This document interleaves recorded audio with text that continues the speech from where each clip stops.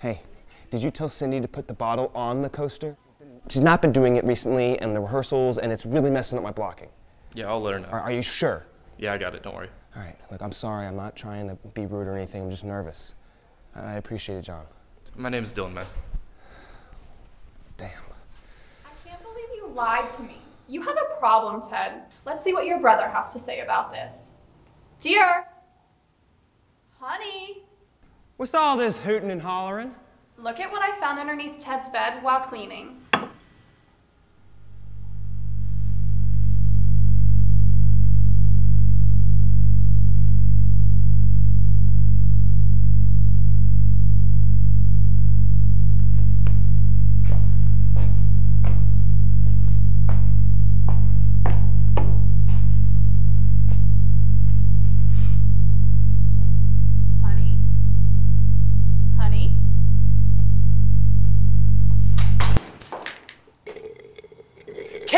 Do anything right?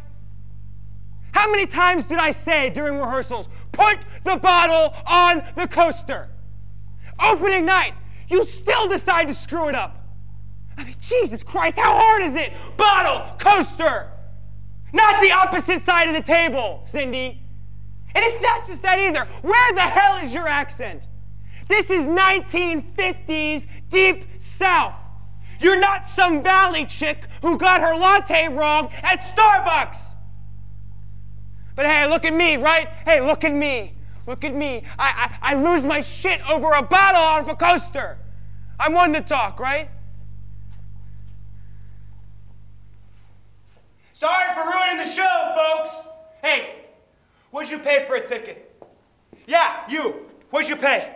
I'm Charlie's dad. They were complimentary. Where are you from, Charlie? Uh, Indiana? Indiana? Indiana?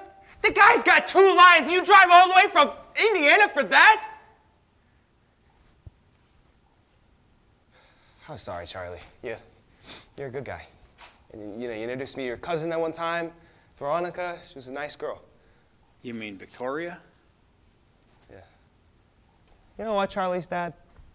I've been out of school for five years now, 20 shows, and my parents haven't been to a single one.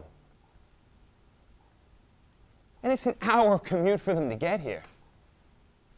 You know, yeah, they paid for school, you know, they try to keep the disappointment off their face, but what do they tell the family, huh? Oh, he's out there trying to make it work, you know, in the big city, acting. What do I have to show for it? A couple playbills, you know, thousands in debt, and a minor drinking problem, you know? Yeah, You, you tell yourself you could do something like this, like you were made for it, and you brush off all of the sideways looks you get when you tell people you're pursuing what you love. But in the end, what the hell do you achieve? What do you do?